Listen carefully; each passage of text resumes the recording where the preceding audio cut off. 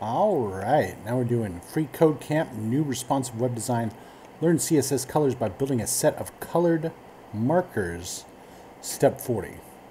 So in the H1 rule, we're going to remove the background color property and value to go back to the default white color.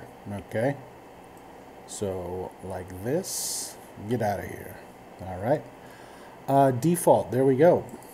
And check it, looks good, submit it. And now we're on to step 41 and we'll see you next time.